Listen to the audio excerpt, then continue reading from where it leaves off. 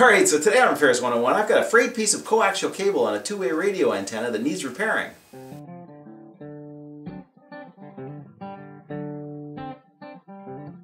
Okay, so here's the deal. Coax is used on electronics like two-way radios, radar, and something called television? Here's a sample I put together. Really, the tip should be soldered, as well as the shield should be soldered to the fitting.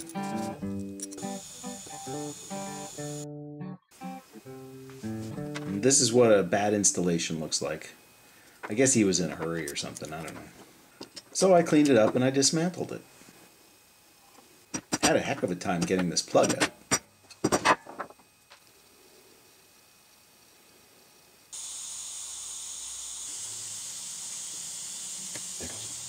Obviously the wire needed to be fresh ended.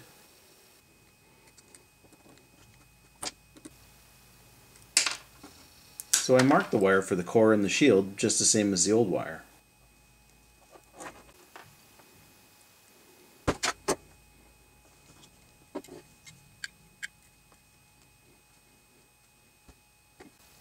Once the end is prepped, you want to slip on a shrink tube.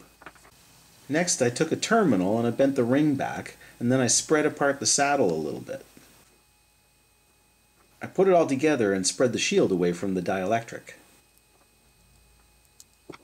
Be sure your dielectric is cut so that it's flush to avoid any signal leakage. I trimmed the ring off, and then I gave the saddle a real good squeeze.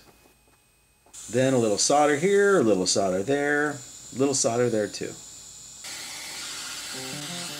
So then shrink tube, two layers thick.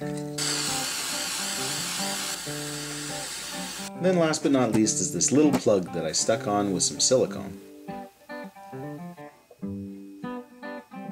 Let's finish up with a continuity test from the antenna to the core, and again from the fitting to the base.